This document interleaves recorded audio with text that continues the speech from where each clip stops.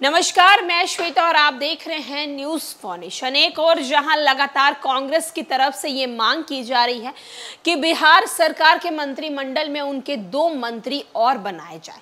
तो वहीं दूसरी तरफ़ ये खबर निकलकर सामने आ रही है कि आज बिहार सरकार के मंत्रिमंडल विस्तार पर कांग्रेस के मंत्री और आरजेडी के मंत्री पर चर्चा हो सकती है।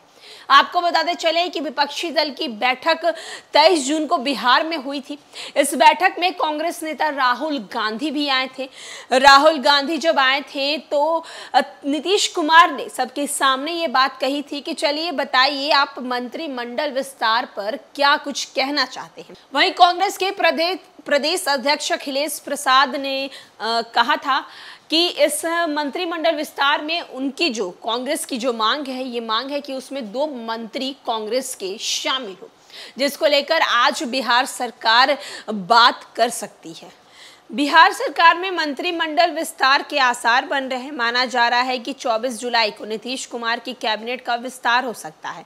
दावा है कि राष्ट्रीय जनता दल से दो और कांग्रेस से दो नेता मंत्री पद की शपथ ले सकते हैं।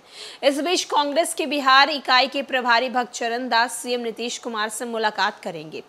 दिगर है कि बिहार में बीते कुछ दिनों से मंत्रिमंडल विस्तार की बातें कही जा रही है। माना जा रहा है कि नीतीश सरकार में आगामी लोकसभा चुनाव को ध्यान में रखते हुए कुछ नए लोगों को काबिन में एंट्री मिल सकती है। दूसरी ओर कांग्रेस भी लंबे समय से अपने नेताओं को कैबिनेट में शामिल करने की मांग करती रही है।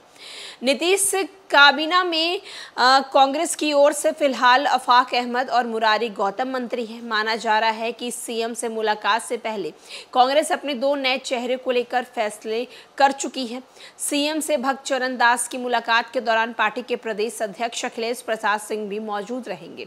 राजद की बात करें तो यहाँ भी दो नए चेहरों को अहम बताया जा रहा है। इससे पहले राजद कोटे से मंत्री कार्तिक कुमार और सुधाकर सिंह इस्तीफा दे चुके हैं। ऐसे में उनकी जगह भी नए मंत्री आने की चर्चा ज़ोर पर है। बीते महीने जीतन राम मांझी की अगुवाई वाली पार्टी में हम के नेता संतोष कुमार सुमन ने भी इस्तीफा दे दिया था। मांझी के अगुवाई वाली पार्टी अब भारतीय जनता पार्टी की नीति राष्ट्रीय जनतांत्रिक गठबंधन में शामिल हो गई है। संतोष सुमन ने बिहार सरकार पर कई आरोप लगाते हुए काबिना में इस्तीफा दे दिया था। इसके बाद से ही नीतीश सरकार मंत्रिमंडल विस्तार के आसार जताए जा रहे हैं।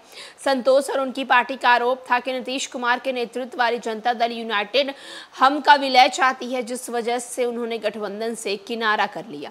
जहाँ एक तरफ़ बिहार सरकार के मंत्रिमंडल विस्तार को लेकर यह खबर सामने आ रही है कि 24 जुलाई को यह मंत्रिमंडल विस्तार किया जाएगा और इसमें अहम फैसले लिए जाएँगे। अहम फैसले कुछ इस तरीके से होंगे कि दो राजद के मंत्री और दो कांग्रेस के मंत्री उस दिन शपथ ले सकते हैं। इस बात को लेकर आज चर्चा होने जा रही है। वहीं आपको बताते चले कि लगातार कांग्रेस की तरफ़ से ये मांग थी कि उनके के मंत्रिमंडल विस्तार में दो मंत्री कांग्रेस के और शामिल हो। पहले से दो मंत्री शामिल, लेकिन कांग्रेस ये मांग शुरू से ही करते आ रही है कि उन्हें दो और मंत्री जो कांग्रेस की तरफ़ से मुख्यमंत्री नीतीश कुमार के मंत्रिमंडल में शामिल हो, जिसको लेकर अब 24 जुलाई को ये खुलासा हो जाएगा कि वो दो मंत्री कौन होंगे और वो दो मंत्री राजद के कौन होंगे जो उस दिन शपथ लेंगे। फ़िलहाल के लिए इस खबर में इतना ही। अनेक अपडेट्स के लिए देखते रहे न्यूज़ फाउंडेशन